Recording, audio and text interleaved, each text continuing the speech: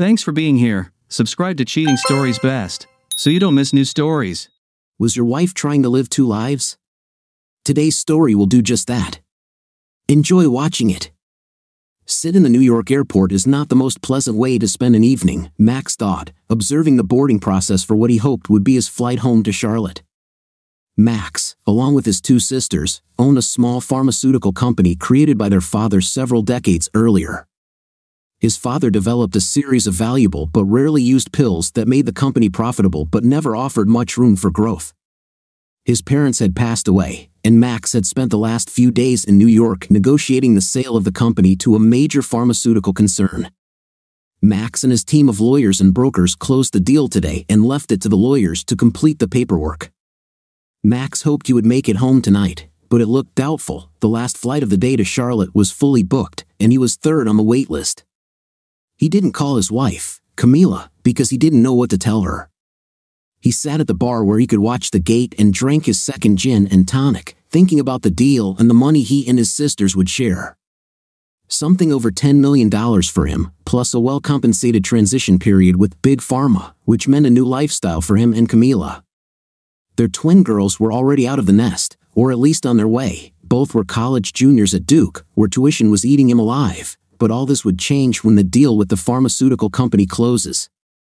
Meanwhile, the boarding process was ending, and the agents at the gate were ushering the last passengers onto the plane. And then a small miracle happened the boarding sign changed, and Max saw that his name appeared on the waiting list. He threw the money on the bar, waved to the bartender, who gave him a thumbs up, grabbed his briefcase and duffel bag, and ran for the exit. The agent at the gate handed him his boarding pass and quickly explained to him and two other passengers that the group of four who had checked in remotely had not shown up, so they were given seats. Max ran down the plane with his new buddies, and when he got to the gate, he realized he had a first class seat, a good sign, he thought. I got on the flight, I'm sitting in first class on my way home a day early. This may mean that the pharmaceutical deal will indeed close. The boarding door closed as he boarded, and the flight attendant asked if he wanted something to drink. As they taxied to the runway, he felt like he'd earned another drink, so he had another gin and tonic, then fell asleep, dreaming of a future for him and Camila with enough money to always fly first class. The shock of landing woke him up. He eventually made it to the taxi stand to take a taxi home. He had driven his pickup truck to the airport a few days earlier, but now he was exhausted, a little drunk, and it was really late, too late to call Camila to come get him.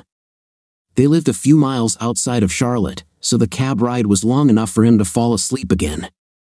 The driver had to wake him up when they arrived. Max paid him, added a generous tip, and a little sluggishly got out of the taxi. It was a long, busy day and evening. He was already thinking about getting cozy in bed with Camila when the taxi pulled away, and he turned towards the house. What he saw stopped him in his tracks and woke him up completely. A gold Mercedes was parked in the driveway in front of his side of the garage. The car seemed like a very fashionable Mercedes, but then all Mercedes seemed fashionable to him. The house was dark by then, it was past midnight, and Max just stood there for several minutes. He had spoken to Camila from his lawyer's office around noon, and she said nothing about late night visitors. He tried not to think about the unthinkable, tried to create a happy scenario that would allow him to snuggle up to warm, sleepy Camila in just a few minutes. However, his mind didn't work that way, so he slowly walked towards the door in the passage between the garage and the house. He unlocked it, entered the quiet house, and walked even more slowly through the kitchen and up the stairs to his and Camila's bedroom. The bedroom door was open, apparently not expecting visitors, and Max stepped inside, and then it closed. There was no other way to express it, his brain stopped working. He stopped breathing, even his heart seemed to stop beating. He saw what he considered unthinkable. Camila slept without clothes, spread out on her side of the bed, with one arm wrapped around the man who was also sleeping, even smiling slightly in his sleep. Max stood there for what seemed like an eternity, but eventually, his brain started working again. He looked again at Camila's hand lying across the man, and they both snored. This broke Max's heart. Until tonight, he had enjoyed listening to Camille snore. She was snoring quietly, almost purring, Max thought. He thought her snoring meant she felt absolutely safe, deep in the peaceful sleep that came from sharing a bed and life with Max. He often fell asleep with that soft purring sound in his ears. But now, he would never hear that snoring again, never sleep next to her again. Even with his heart broken, Max began to think again. He saw the man's clothes neatly folded, lying on the chair that Max had sat on hundreds of times. Smoldering rage began to flare up inside Max. He pulled up his pants and pulled out his wallet and car keys, then stopped to think a little more. He could get the tennis racket out of the bedroom closet and use it to beat the man up. He decided he could also beat Camille. Both of these actions, while satisfying in the short term, could cause big problems for Max in the long term. Another idea began to form in his mind. He took out his cell phone to take some incriminating pictures. As the idea germinated and expanded, Max finished taking pictures and then collected all of the clothes and shoes. The man was a big guy. Max was 5 feet 10 inches tall and weighed about 160 pounds. The man looked at least 4 or 5 inches taller and perhaps 50 pounds heavier. A tennis racket may not have been a good idea, even in the short term. Taking his clothes and shoes in his hands, Max took one last look at his wife, his loving, beloved wife. The mother of his precious daughters, and hardened his heart against the love that had fueled him for more than 20 years. He left the bedroom, still without tears, and headed back down the stairs to the outside. The key fob beeped, and the Mercedes doors opened. Max put his briefcase and duffel bag inside and slid into the driver's seat. He was never a fan of fancy cars, but when he got into the Benz, he realized that he liked it. He figured out the controls, put the car in gear, and drove off. After about a mile, Max pulled over and looked at the man's wallet, the usual things, some money, business cards that identified him as Franklin Thompson. A senior sales manager at a local Mercedes dealership, a driver's license that showed a Charlotte address. If he had family there, Max figured he could cause some real trouble for him, of course, and maybe Camille too. But at the moment, Max was exhausted and headed to the nearest motel to get some sleep. Camila Tronder was a very careful person. She knew that she was not as smart as her husband, Max, but thanks to her caution, her affair with Franklin Thompson lasted almost five months without Max suspecting anything. Max was still in New York, she thought, as she lay in bed with Franklin the next morning. He was good in bed, maybe not as good as Max, but out of bed, he could not compete with her husband too much like a car salesman, she thought, coming to the conclusion that it was time to end this affair. Franklin was becoming too possessive. He wanted to spend the night with her, and she allowed it, but that would be the last time she did that.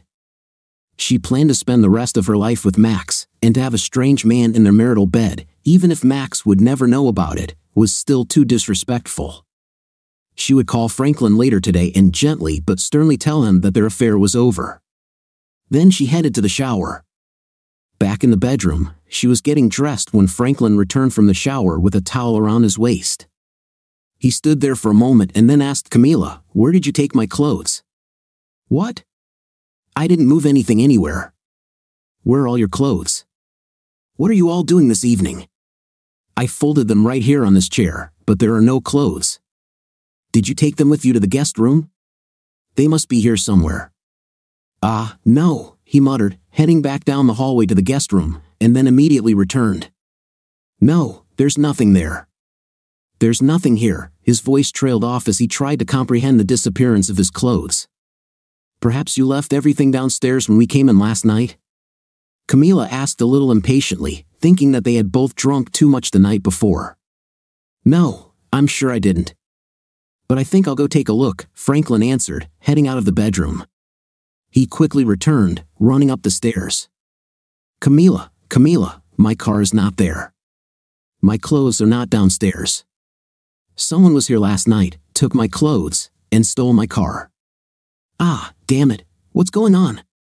I'm sorry, what? Camila tried to comprehend what Franklin was saying.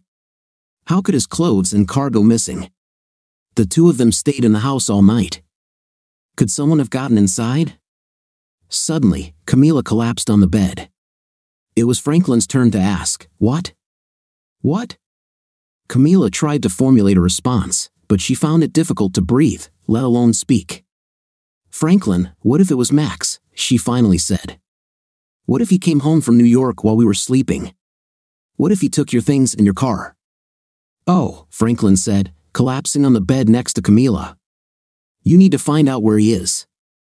It could be him. But if he's still in New York, that means some kind of burglar has broken in, which means we need to call the police. I have to get my things and my car back. Oh damn, this car. If we call the police, they'll want to know who owns it, and it's in my wife's name for some damn tax reason.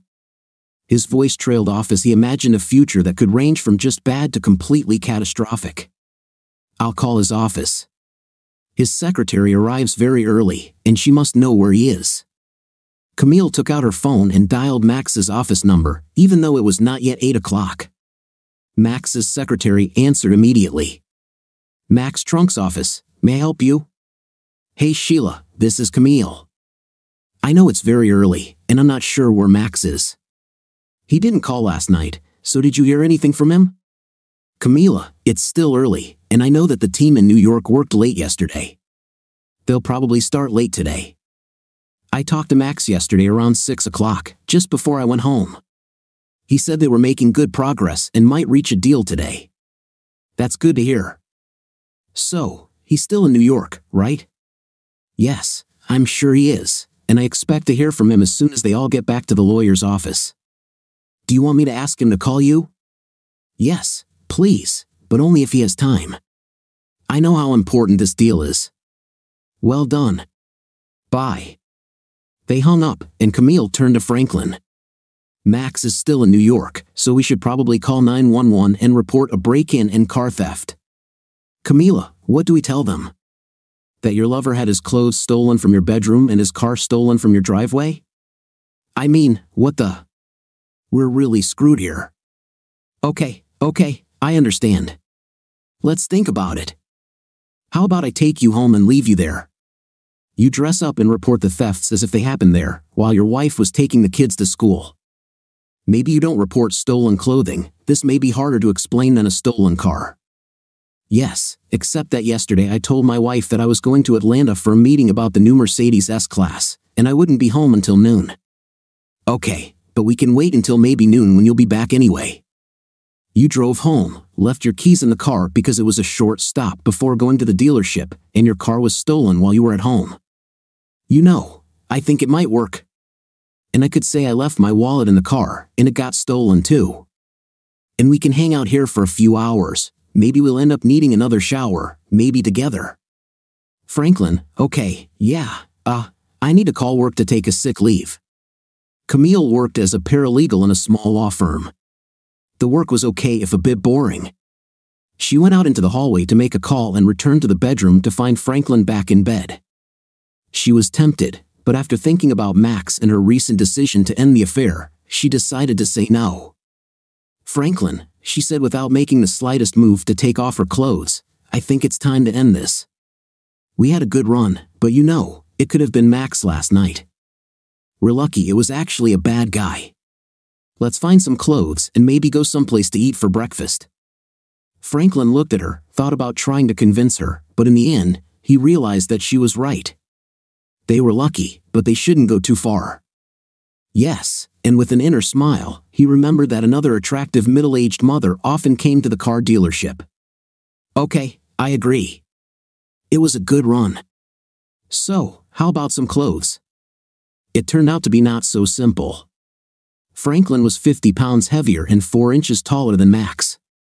Camille finally found a pair of tattered old sweatpants that seemed to fit Franklin. After making a few V-cuts at the waist, she then tied some strings around his waist to hold up his sweatpants. She also found a sweatshirt that had turned pink when it was sloppily washed in the washing machine.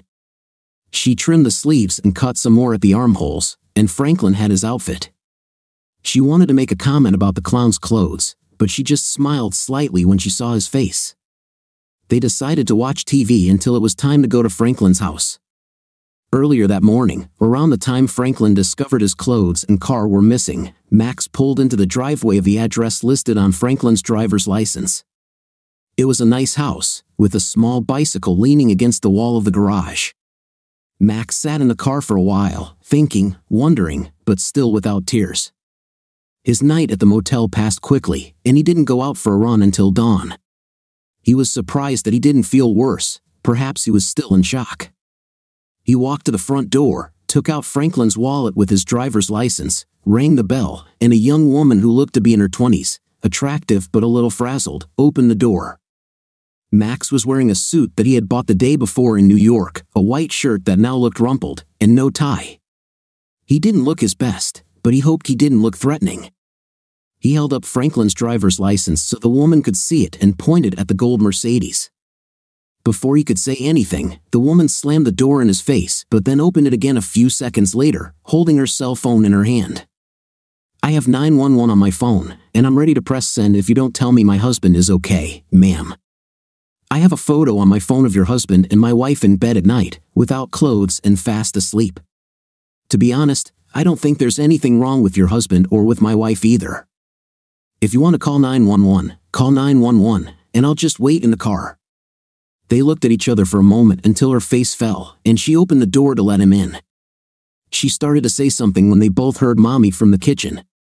Wait here, I'll be right back, she said, turning away and heading back to what Max assumed was the kitchen. He heard voices, hers and at least one of the children's. She returned, handing him a cup of coffee. I hope you drink black coffee. I have to get the kids ready for school and then take them. I'm afraid I trust you more than my husband now. You can stay here until I get back, and then we can talk. Fine? Okay, Max answered. I'm afraid we're in the same boat. He sat down in the living room, and soon a woman appeared with two children. She introduced him as Dad's friend and walked out the door with them.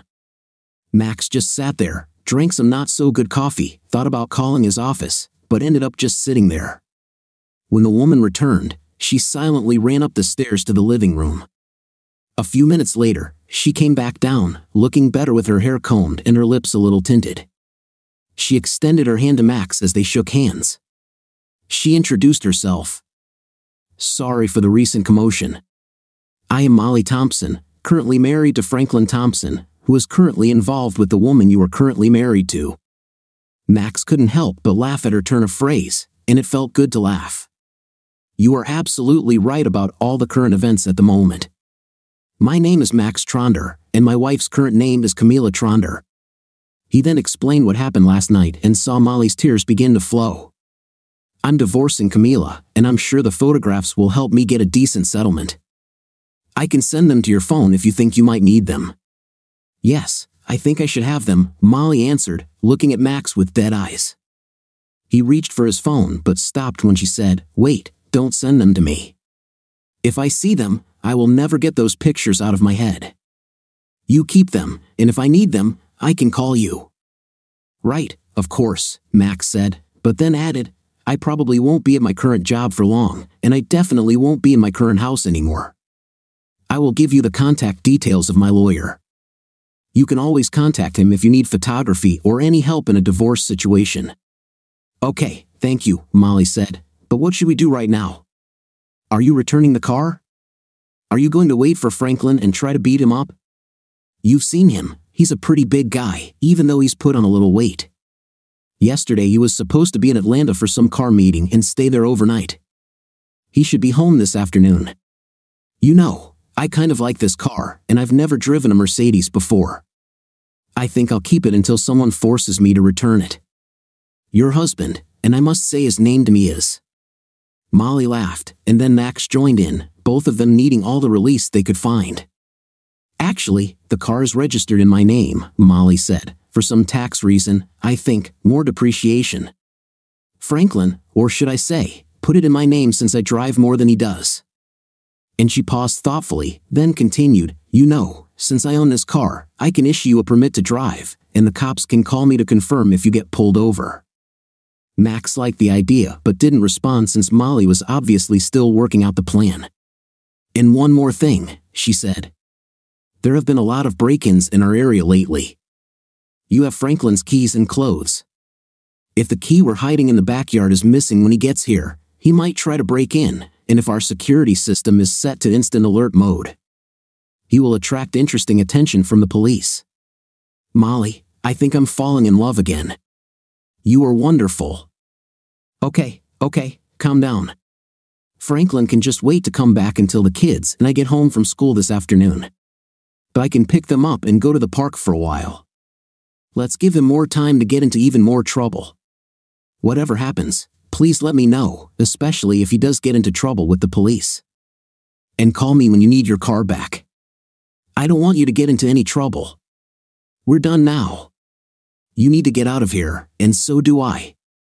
Max drove off in a beautiful gold Mercedes, wondering how much the same one, only in a better color, would cost. Molly gave him the permission slip, and he assumed she would get the hidden key, set the alarm, and leave for the rest of the day. Camille and Franklin actually arrived at Franklin's house around noon. Camila dropped him off and quickly rushed off as if she was trying to avoid further infection. Franklin walked to his front door, hoping that it might not be locked because Molly was home, but at the same time, afraid that she might be there. There, of course, it was locked, and he hurried around the house to the rock in the backyard where they kept the spare key, but the stone disappeared. Oh, he muttered, looking at the back of his house, wondering if he should break in. He tried to open the back door, but it was also locked, so he decided that he really had no choice but to force his way inside. He looked at the windows along the back wall, wondering which one would be best to break. He stopped at the window into the family room. The window was the largest at the back, and breaking it would give him more room to enter the house. He broke a branch from the tree he was about to trim and examined the window. Since he was barefoot, he needed a way to get through the broken window glass, which he could break. He pulled two chairs from the back porch and placed them next to the window. He thought he could climb over the chairs to avoid the glass and then just be careful when he entered the living room. A few deep breaths, and he was ready to go. Franklin threw a branch through the family room window, and it shattered with a satisfying crack, followed immediately, unfortunately for Franklin, by the wailing sound of the home alarm system siren. To make things even more unfortunate, a police car just happened to be driving down his street, as Molly had called the local police station that morning to complain about potential break ins in their area. Damn, damn, damn, Franklin muttered, trying to quickly climb over the chairs to get into the house and disable the damn security system, but not fast enough. Police, stop right there and slowly walk away from the house. Raise your hands up. Franklin looked back and saw two policemen with pistols. He did as he was told and only cut his legs slightly as he climbed off the chairs and backed away. Officers, I can explain, he began to say when one of the policemen put his hands behind his back and handcuffed him. The policeman ignored his attempt to explain himself and read out his rights. The policeman then asked if he wanted to say anything. Yes, yes, this is my house, and I, uh, don't have a key, so I broke in to get some clothes and call my office. The cops were looking at Franklin's tracksuit, perhaps thinking clown clothes, when one of them asked him if he had any identification. Ah, uh, ah, uh, no, no, not now. You see, I lost my car and all my clothes and stuff, and I just need to get inside so I can get some real clothes. How did you lose your car, sir? Ah, uh, well, last night I stayed at a friend's house, and this morning the car, uh, wasn't there. It just wasn't. Huh, have you reported a mysterious disappearance? Maybe you left it in a bar somewhere? Franklin was stumped. He didn't want to reveal where he was or why he didn't report the car missing, but he also didn't want to go to jail for trying to break into his own home, and the handcuffs were really uncomfortable. Then he came up with a solution that might work. You can call my wife, she can identify me, and perhaps you could take me to my office. I can ask someone there to help me get some clothes. He knew he'd put up with a lot of crap at the dealership, but it was a lot better than going to jail. One of the cops took Molly's phone number from Franklin and went to call her. Franklin could hear the police part of the conversation. Ma'am, this is RI from the Charlotte Police Department. We are at the address he gave, the address, and we have a man here who claims to be your husband. He tried to break into your house because he lost his clothes, and yes, ma'am, no, ma'am, uh, yes, ma'am, we will, of course, do this. Thank you, ma'am. He turned back to Franklin. The lady says her husband is in Atlanta, and anyone who breaks into her house must be a burglar. She hopes we throw you in jail and throw away the key.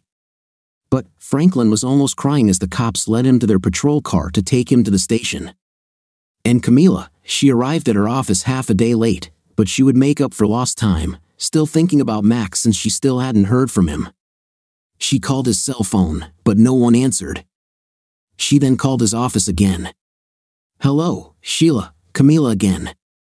I'm starting to get a little worried about Max since I still haven't heard anything from him. And you? No, I have nothing new. I guess this means he's still in New York with the lawyers, but it's really not like him to not call. You do seem a little worried, so I'll call there and check on him, and either he or I will call you back in a few minutes. Fine? Thank you, Sheila. You are the best secretary in the world. A few minutes later, Camila actually received a call back. Camila, this is Sheila. I talked to one of the secretaries at the law office, and she said Max left late yesterday, hoping to catch the last flight to Charlotte. So I called Max on his cell phone to check on him. I did talk to him, and he asked me to tell him that he would call later. Fine? Thank you, Sheila. She said, disconnected, a snake began to grow in the depths of her stomach. Max hung up after talking to Sheila. He was driving a gold Mercedes to see a divorce lawyer recommended by Fred Thomas, his longtime business lawyer. He trusted his business lawyer and hoped he could trust his divorce lawyer.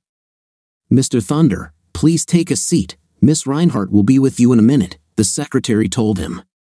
He sat down, somewhat reassured by the lawyer's office, no expensive furniture but not cheap looking either. Before he had time to worry further, a 50 year old, somewhat plump lady with obviously dyed red hair entered the waiting room. Mr. Tronder? Max stood up and nodded, and she continued, I'm Anna Reinhardt.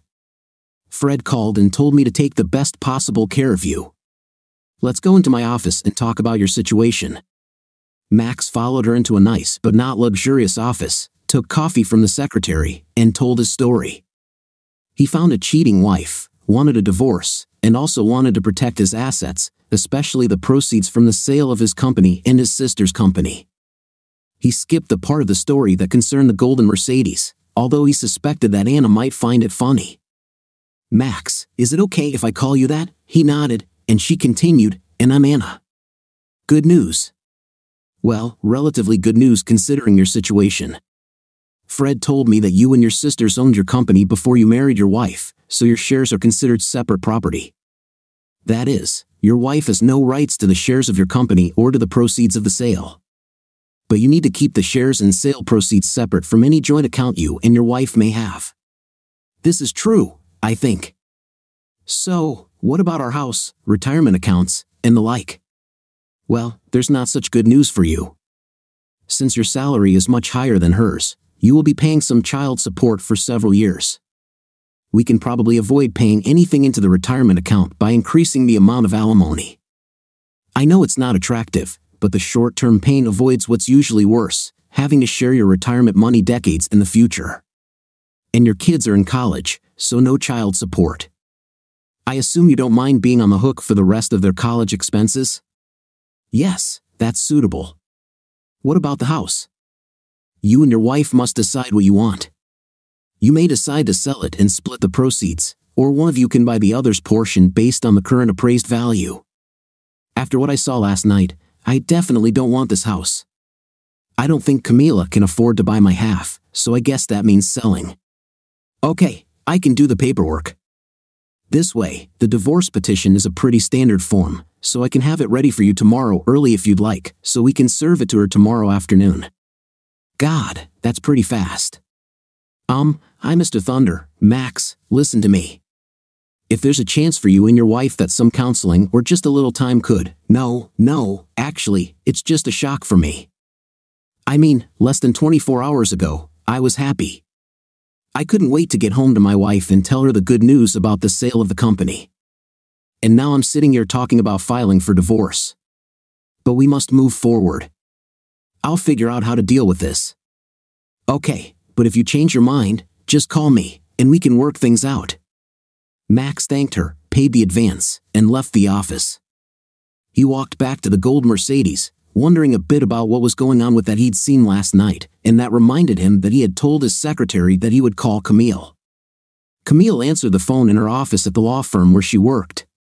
Camila, this is Max. You called and looked for me? Oh, Max, thanks for calling.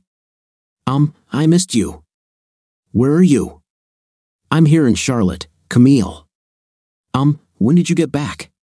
The snake, deep in her belly, raised its head. Last night, Camila. I came back last night, and the snake bit a little harsh. Camila leaned back in her chair. She knew she had to carry on this conversation, but she could barely breathe, let alone speak. Camila, I'm hanging up now. No, Max, no, she managed to squeeze out. Please, please, can we meet somewhere? I need to see you. Just see you for a few minutes. Max hesitated. This woman was his love, the mother of his daughters, the most important person in his life for over 20 years. Okay, Camila. The Center Cafe at 6? The snake bit even harder. Camila had to agree, but the Center Cafe was the place where she and Max had met a long time ago, both of them hanging out with friends. Since then, this cafe had become a special place for them, and now she was afraid. Why had Max suggested this? But she had to say yes. Max, I'll see you there. And please listen, I'm sorry, and I love you. Max hung up. Camila sat and cried, and the snake bit more and more. Camila came to the cafe early, Max was not there yet. She ordered a glass of wine and sat there, thinking about what a terrible person she was. Her first real intimate experiences were with big, strong football players in college. She played around in high school, but it took those college football players holding her down, making her feel helpless. When Max arrived, she thought she had overcome this need to feel helpless. Max was everything she needed strong in bed, loving, a great father to the girls, a good provider. That would have been enough if it weren't for the plane ride back to Charlotte from the West Coast. Max was visiting some pharmaceutical company trying to sell a new drug, and she accompanied him for the weekend before his meetings began. Flying home alone on an overnight flight, she sat next to a large man, the coach of what turned out to be a local NFL team. They chatted, drank too much, and she fell asleep with her head on his shoulder. She woke up with his hand between her legs, under her skirt. Now, thinking about that night, she knew she should have screamed or at least pushed his hand away, but no, Camila didn't do that.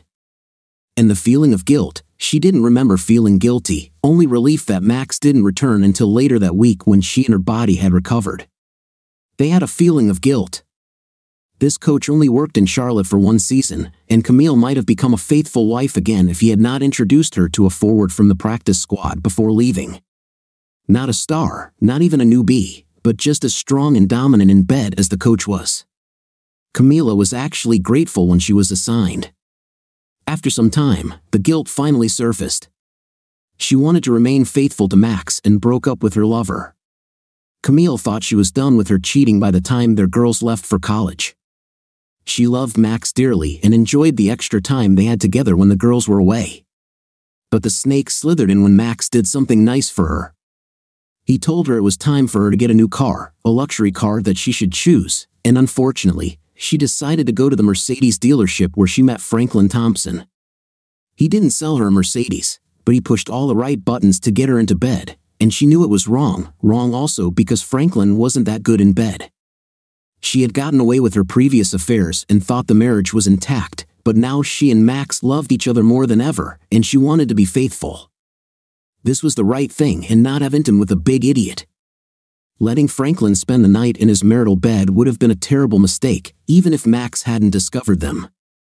But she had let him, and now she feared the terrible price she might have to pay. Hello, Camila. Camille looked up and saw Max standing there. He looked much older than he did before he flew to New York, and she knew it was her fault. The snake in her stomach continued to bite. Hi, Max. Thank you for being here. I don't even know how to begin to say how sorry I am. Can I ask a few questions? He said, sitting down. Oh, Max, please no. If we have any chance, questions and answers will simply kill that chance. Max, we should run away, just for a few days, to some island in the Caribbean where we can be reunited, where we can hug each other, where. Camila, please, you're delusional. If you can't answer my questions, I'll get up and leave now. The snake continued to bite, but Camille knew she had to endure the pain and let Max vent the way he wanted. Maybe, just maybe, he could come out the other side of his anger to some kind of reconciliation. Okay, Max. Ask me anything. Do you know what time I got home last night? Strange question, she thought. Um, no, not really. It had to be after, she shut up. She knew what his next question would be, and it was, and do you know what I saw when I got home? When I went upstairs to our bedroom? Or should I say, what used to be our bedroom? Yes, Max. I know what you must have seen, and I know it must have been one of the worst things you've ever seen in your entire life. And I know it's entirely my fault that you saw this, and I am begging you to please listen to me, Max. I'm sorry, so sorry, that I won't fight the divorce you want, if you want. Shut up, Camila. Next question. How many men have there been since we got married? If you're lying, if I think you're lying, I get up and leave. Camila's first thought was to lie. The second thought was that lying was too risky. And the third thought was that the marriage was probably over anyway. Three, max. Three men, whom I now regret having ever met. I think I can see in your eyes that our marriage is over, and I understand it. You deserve someone better than me. I'm willing to do almost anything to give us another chance, but I understand if you don't want anything to do with me anymore. Call the lawyer, Camila. Tomorrow, you will be served with divorce papers. Max got up and left. Camille sat there, too stunned to even cry at first. While she was thinking about what Max had just said, the snake in her stomach bit hard, and she actually started crying. Max walked out of the cafe, remembering how he and Camille first met there decades ago and wondering if this meeting would be the last time they ever had any kind of intimate conversation. Intimacy, he thought bitterly, must be the worst kind of intimacy, hearing their wife say that she had a night with other men and to see her with that Toad Franklin in their bed. In their bed. Sleeping, her snoring, for God's sake. How am I ever going to get over this? Perhaps he could handle three faceless men in the 20 odd years they had been together. Just maybe, with some counseling and a lot of humiliation on her part, maybe, but he would never get over that scene in their bed. Their marriage was over, and sitting in that damn gold Mercedes, he finally cried. At some point, Max realized that it was already getting dark. He blew his nose, wiped his face, and thought about what Molly Thompson had said that morning, which now seemed like a year ago. She told him not to send her pictures of her husband sleeping with Camila. She felt that it would be much more difficult to forgive if she were confronted with visual evidence. Max decided to call her, share this thought with her, and check the situation with the Mercedes. Hello, Molly, answer the call. Molly, this is Max Tronder from this morning. I'm just calling to see how you're doing and what I should do with the car. Max, thank you for calling.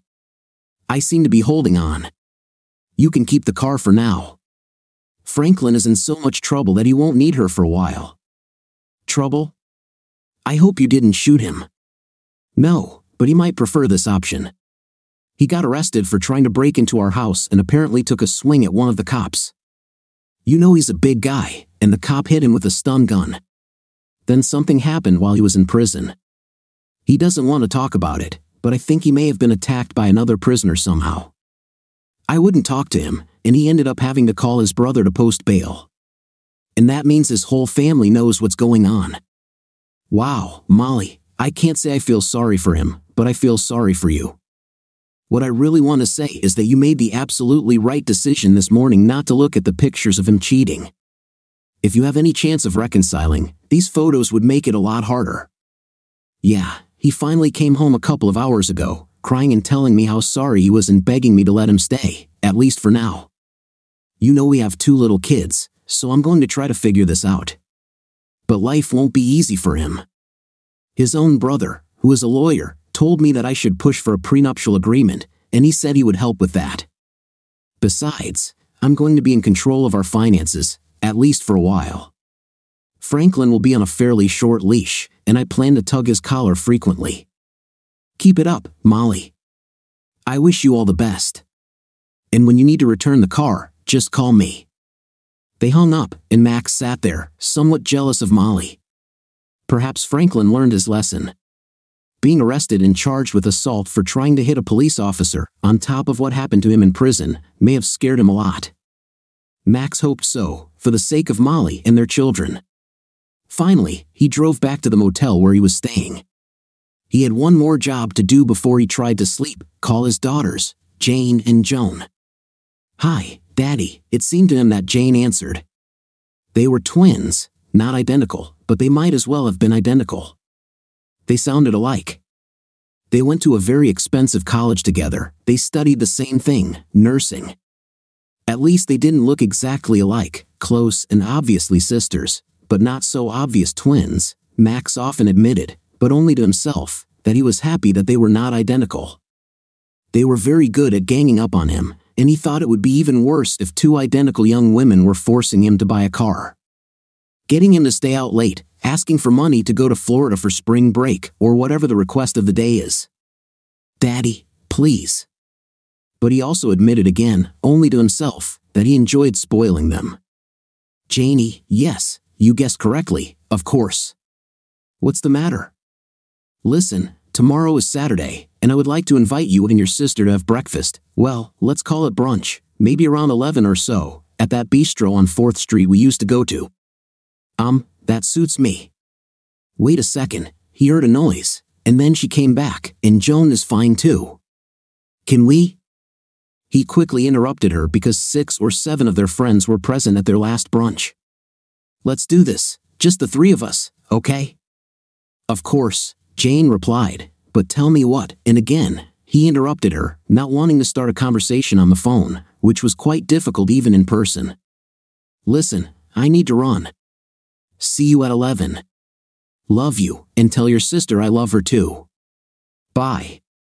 And he hung up. He hoped she wouldn't call Camila, but he couldn't tell her that.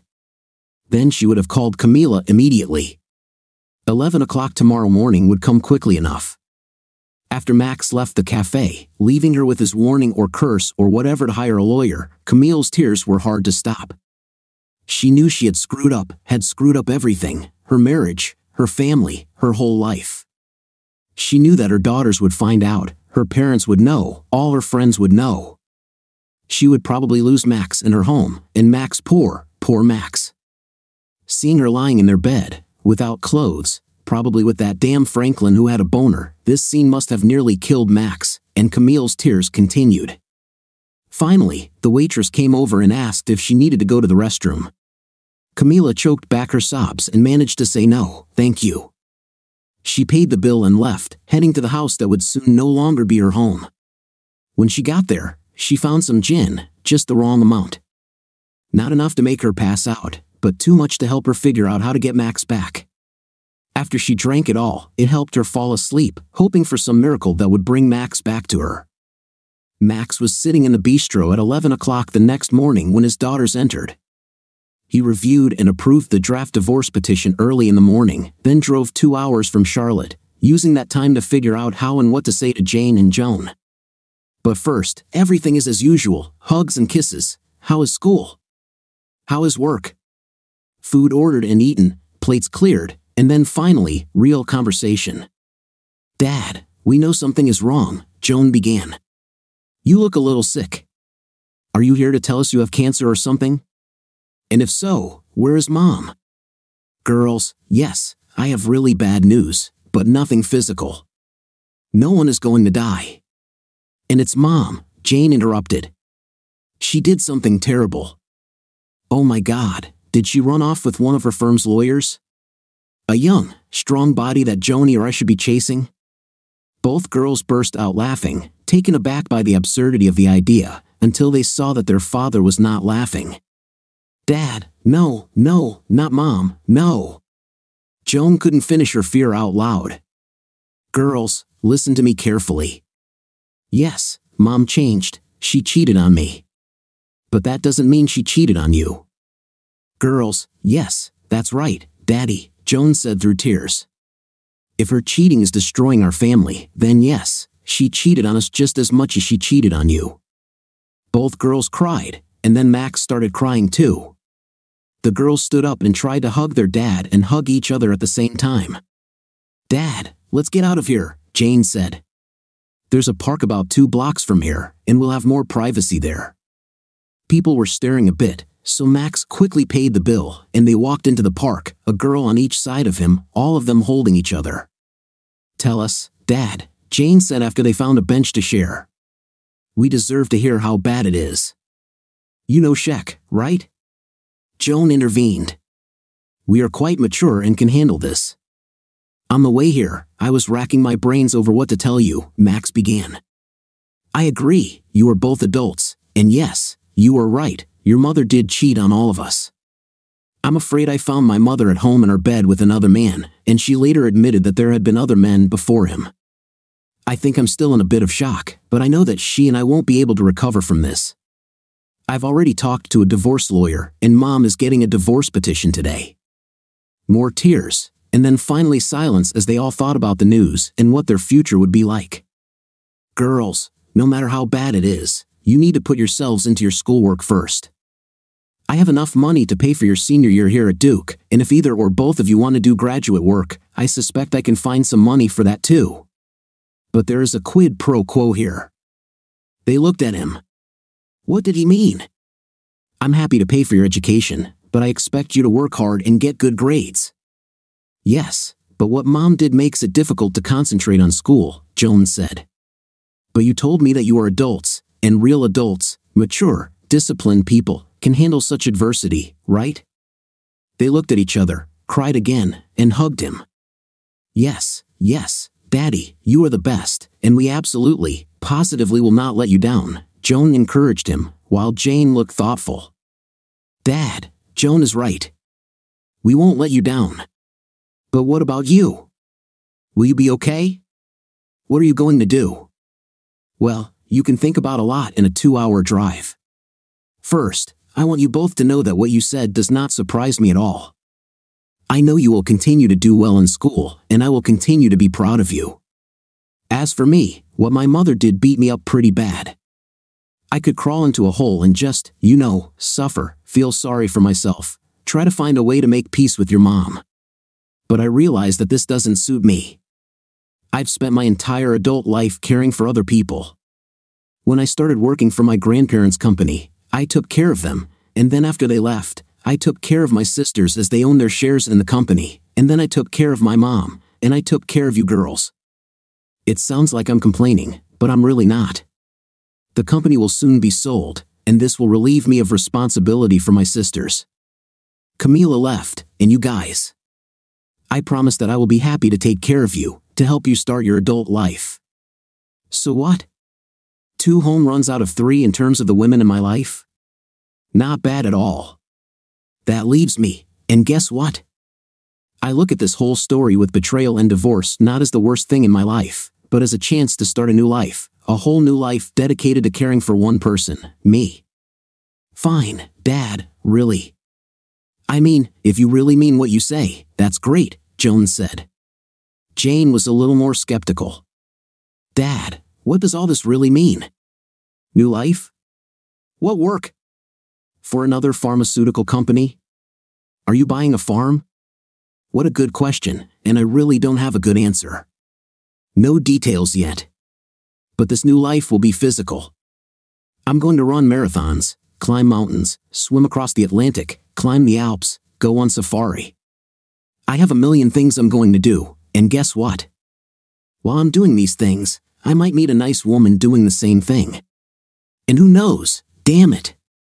Dad, this, this is amazing. Both girls looked at him with their mouths open.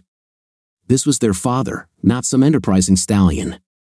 Did you really come up with all this while driving here from Charlotte? asked Jane.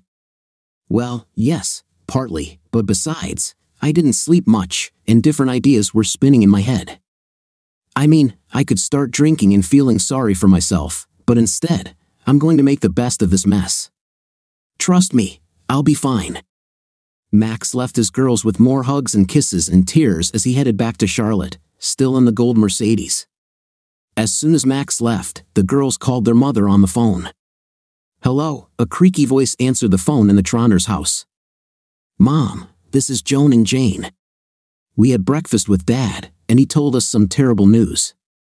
What, uh, what did he say? Camila's voice trembled. Well, divorce was a terrible word, and the reason was your betrayal. Dad gave us a little more detail, but that's basically it. This is true. Oh, girls, this is difficult. He and I have been married for a long time, and this, this, uh, well, this, uh, mistake, yes, I made a big mistake, well, more than one actually, but I'm sure we can get through it. I just need to give your father some time to. Mom, Joan interrupted, listen, Dad said divorce. He didn't talk about fixing the error, Mom. He was talking about cheating. Well, yes, technically he's right, but that doesn't mean we can't fix it. I told him I would do anything. Mom, it was Jane's turn to interrupt. I think you're delusional. He told us that he had already met with a divorce lawyer. He actually said there was no turning back for you too. Joan and I don't want to take sides, but you have to understand reality. Tormented breathing on the other end of the line. Joan and Jane looked at each other. Should they have gone to Charlotte?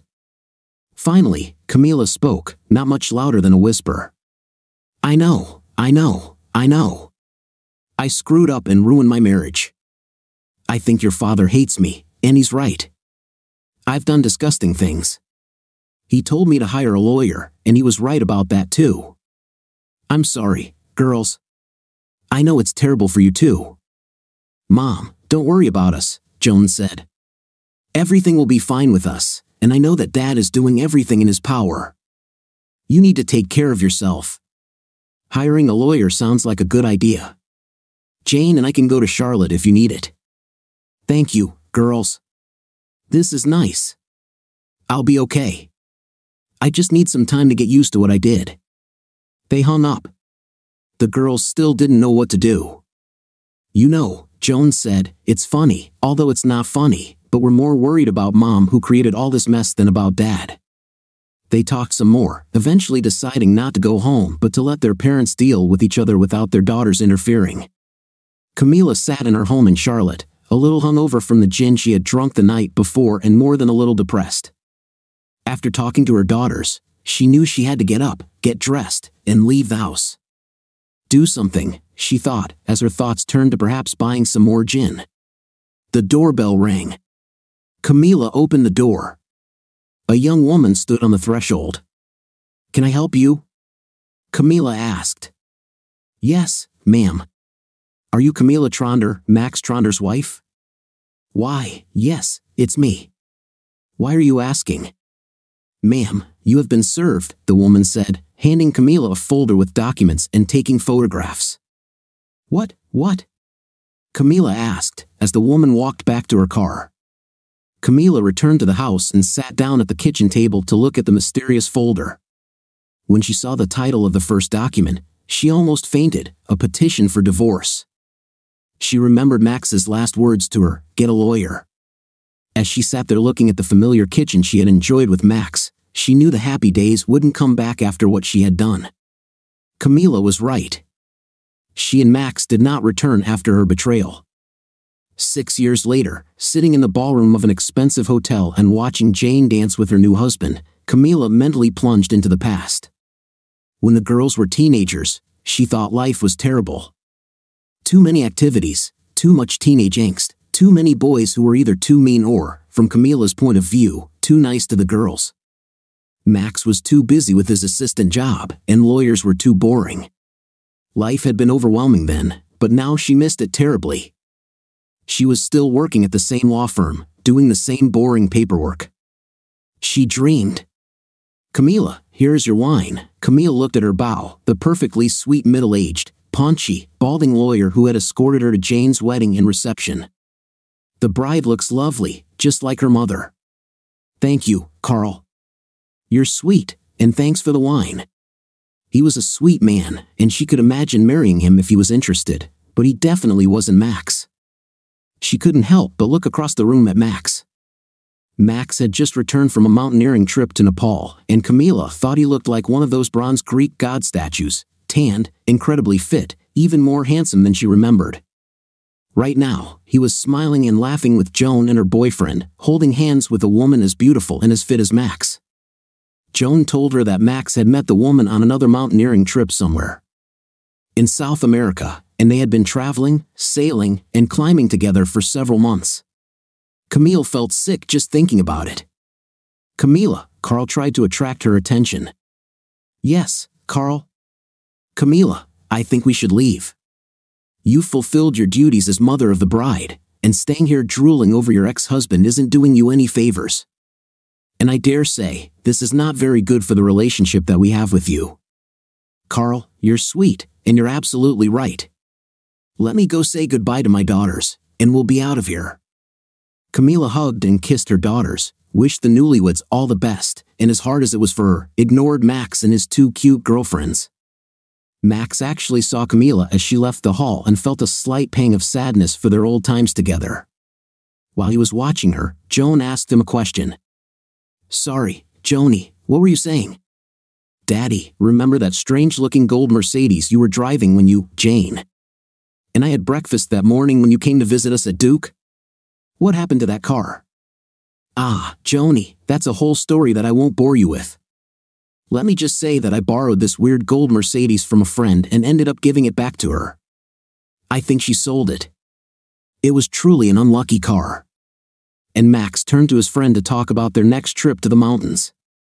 Today's hero did exactly that. What would you do in this situation? Write your answer in the comments. See you in the next video.